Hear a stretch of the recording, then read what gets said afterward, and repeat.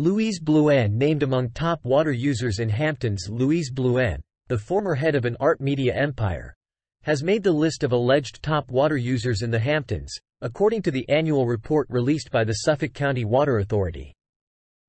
Blouin's properties, including her estate known as La Dune, were identified among the addresses with significantly higher water consumption than average.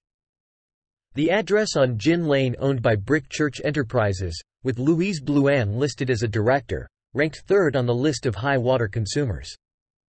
This property reportedly consumed approximately 7.6 million gallons of water from July 1, 2022 to June 30, 2023, far exceeding the average annual usage of 130,000 gallons for a typical home.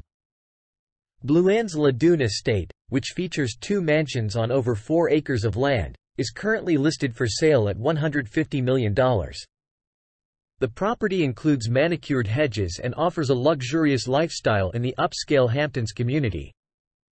Several other notable individuals were also listed as high water users, including Oak Hill advisors Glenn August, ex-Millennium CIO Bobby Jain, billionaire hedge fund manager Noam Gottesman, Hollywood screenwriter Akiva Goldsman's wife Joanna Goldman, and real estate guru Robert Taubman. The excessive water consumption in the Hamptons has raised concerns due to the ongoing moderate drought conditions in Suffolk County. Authorities have encouraged property managers to curtail watering schedules, especially for large estates with irrigation systems. The Suffolk County Water Authority has also urged residents to reduce water usage and abide by restrictions to help conserve water resources during the drought. Thank you for watching our channel.